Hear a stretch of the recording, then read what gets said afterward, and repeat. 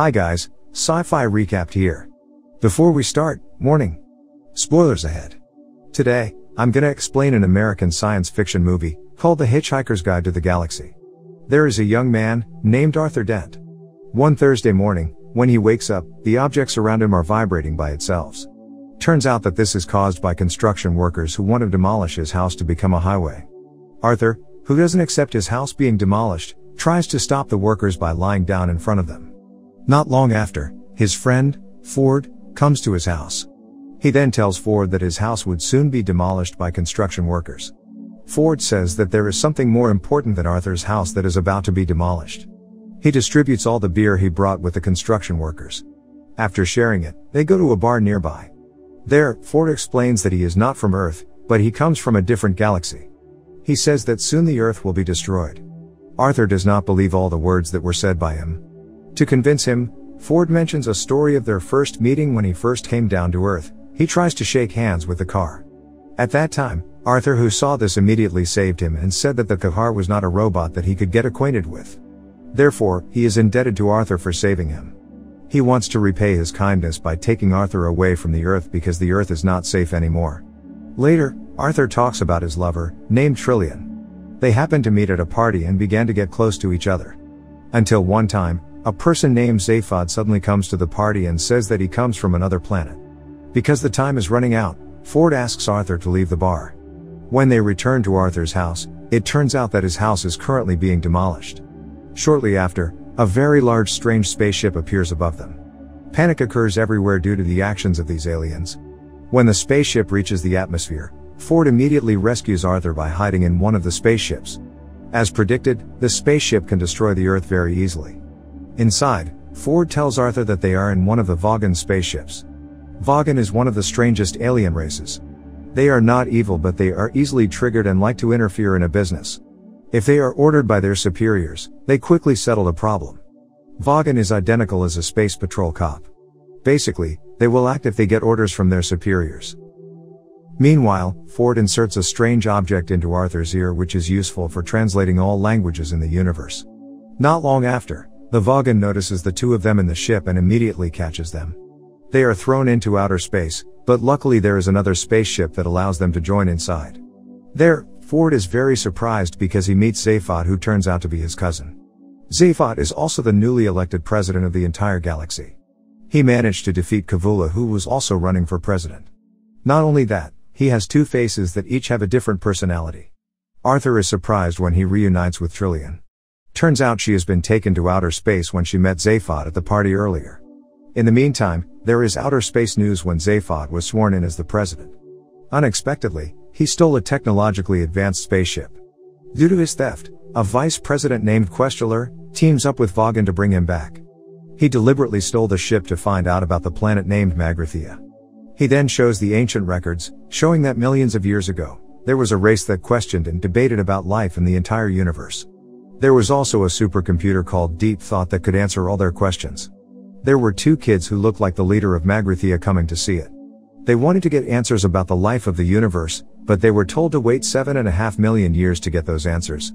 Long story short, seven and a half million years have passed and now these two kids come back to face deep thought.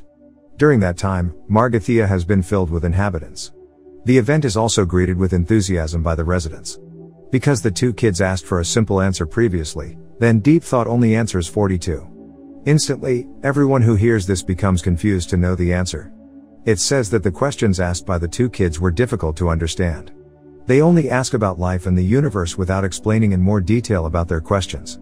The disappointing answer 42 remains a mystery until now. After hearing the recording, Zaphod plans to go to Magrathea to get answers about the universe directly from Deep Thought. When they head to the planet, they suddenly stray to Viltvodelvi led by Kavula. Arriving there, Zaphod asks Kavula where the exact coordinates of Magrathea. He wants to give the exact coordinates with a condition that Zaphod has to bring him a special weapon from the planet. As a guarantee, he immediately cut off one of Zaphod's heads. When they want to leave the place, the group of Vogon comes to bring the president back to his home planet. They think that Arthur and his friends have kidnapped Zaphod. Unfortunately, Trillian is caught by the Vogon and taken to their planet. The others quickly figure out how to save her. By using a mini spaceship, they immediately go to the planet. Soon, Trillian learns a shocking fact from the Vogon that the Earth has been destroyed by them on the orders from the President, none other than Zaphod himself. She doesn't expect that Zaphod has the desire to destroy the Earth. Being accused of stealing the President, she will be executed by drowning her alive. On the other hand, they order a robot named Marvin to return to the spaceship, while the others will save Trillian. They begin to enter and make a release form for someone named Trillian on orders from the President. With the form given, the Vogon immediately releases her. He and the Questular finally realize that Trillian and her friends are good people. They didn't intend to kidnap Zaphod, but there was only a misunderstanding between them all. After getting out of prison, Trillian is angry with Zaphod because he has destroyed the Earth. Then they immediately leave the place. In order to be able to monitor Zaphod's activities, Questular and Vogon decide to go after them. In the end, they all arrive on Magrathea. Ford, Zaphod, and Trillian manage to enter the portal to Deep Thought, while Arthur and Marvin fail to enter it. Therefore, they can only wait at that place. After they wait for a long time, suddenly a man named Slar approaches them.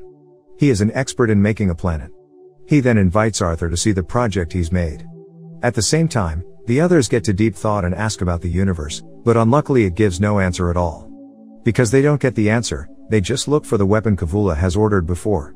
It is a weapon that has been specially designed to make whoever is shot say something or feel something painful. As they get the weapon, Trillian purposely fires the gun at Zaphod to find out the reason why he destroyed the Earth.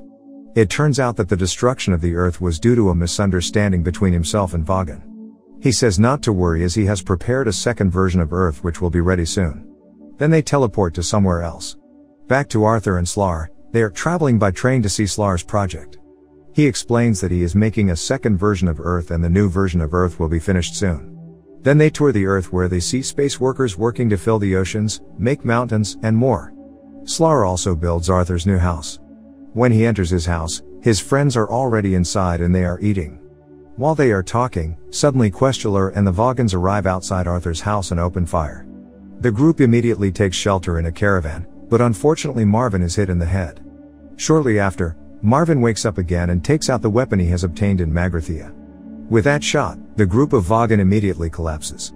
They are taken back to their planet using a spaceship, while Zaphod reunites with Questular. In the end, they decide to go to a restaurant at the end of the universe, while Slar and the other workers will complete the new version of Earth. They do not forget to add plants, animals, and humans like the Earth in general. Subscribe to watch more videos like this, turn on notifications, and leave a like to help the channel out. Thank you for watching.